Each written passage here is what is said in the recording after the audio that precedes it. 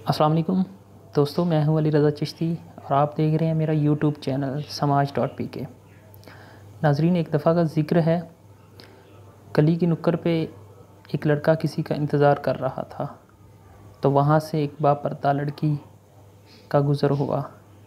लड़के की नज़र लड़की की आँखों की तरफ़ पड़ी तो उसने पल भर में लड़की को कहा ए पर्दा नशी पर्दा हटा। मेरी मोहब्बत कबूल कर जलवा दिखा। लड़की ने कोई जवाब ना दिया।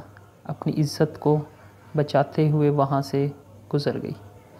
दूसरे रोज़ जब लड़की का गुज़र हुआ तो लड़के ने फिर अपने अल्फाज को दोहराया।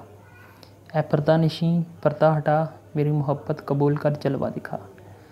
लड़की फिर जवाब ना दे सकी और वहाँ से चुपचाप गुज़र गई। तीसरे रोज़ जब लड़का लड़की के इंतज़ार में खड़ा था और ये सोच रहा था कि आज मुझे हर हाल में लड़की से जवाब चाहिए। तो जब लड़की वहाँ से गुज़रने लगी तो लड़के ने उसका रास्ता काट के उसको कहा ए पर्दा नशी पर्दा हटा, मेरी मोहब्बत कबूल कर, जलवा दिखा।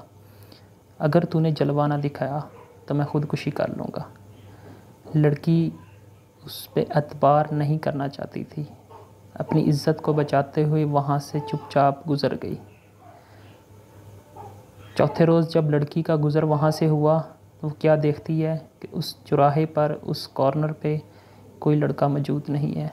सामने एक दुकान थी, जो कि हालात व वाक़ात से उसको पता थे सारे कि डेली बेस पे लड़का क्या लड़की से बात करता है। तो वो लड़की उसी दुकानदार के पास जाती है और उससे कहती है कि साहिब मुझे बताएँ कि यहाँ डेली एक लड़का मेरा रास्ता रोकता था तो वो किधर है? मुझे दिखाई नहीं दे रहा। तो दुकानदार उसको कहता है कि वो तुम्हारी याद में मर चुका है। लड़की रोती हुई उससे पूछती है, उसको कहाँ दफनाया गया? मैं उसकी कब्र पे जाना चाहती हूँ। दुकानदार उसको बताता है कि फ़लाँ कब्रस्तान में उसको दफन किया गया।